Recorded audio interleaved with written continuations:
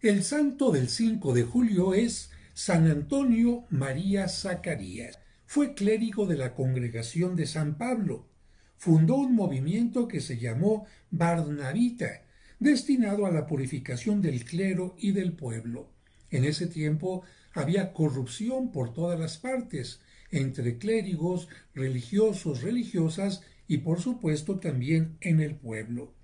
Contribuyó a fortalecer unidades de convivencia tales como la familia, el monacato e incluso comunidades rurales y urbanas, unidos en torno a los valores de fe, a los valores cristianos.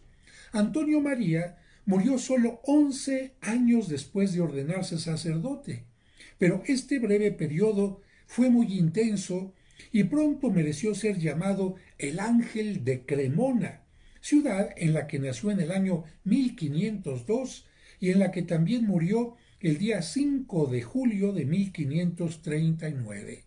Su madre, profundamente cristiana, le enseñó la práctica de la caridad y él dedicó todos sus esfuerzos a aliviar el dolor del prójimo. Con esto entendemos que la educación, el ejemplo, la eh, forma en que nos educa una madre es la que puede convertir a los hijos en santos. Tuvo una singular devoción por la Eucaristía y por la pasión del Señor. Fue el precursor de la festividad de la adoración de las cuarenta horas, y a él se debe una antigua práctica. Fíjate bien, la práctica de recordar la muerte de nuestro Señor Jesucristo al sonar las tres de la tarde todos los viernes del año. Práctica que en muchos lugares se sigue realizando.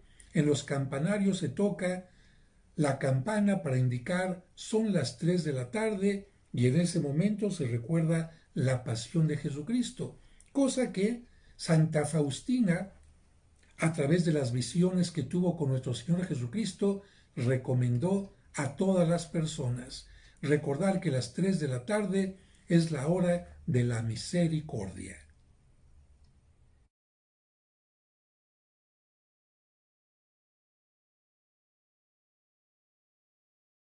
Fue el precursor de la festividad de la adoración de las cuarenta horas,